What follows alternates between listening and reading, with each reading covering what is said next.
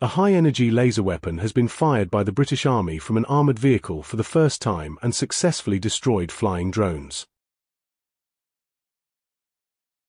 Citing from the UK government website.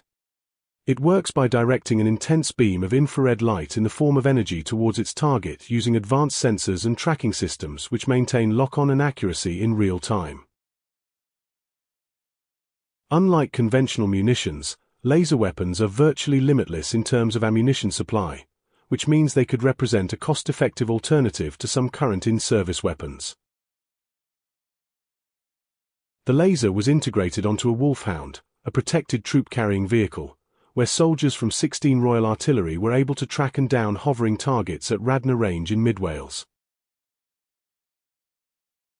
Minister for Defence Procurement and Industry, Maria Eagle MP, said, this groundbreaking technology demonstrates Britain's commitment to staying at the forefront of military innovation. The successful testing of this laser weapon system represents a significant step forward in our development of possible future defence capabilities and showcases British engineering excellence.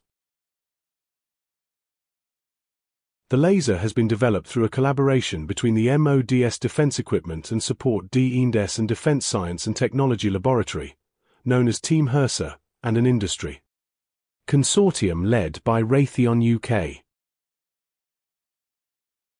This delivers on the government's plan for change by rapidly advancing technologies and building on the strong foundation of national security.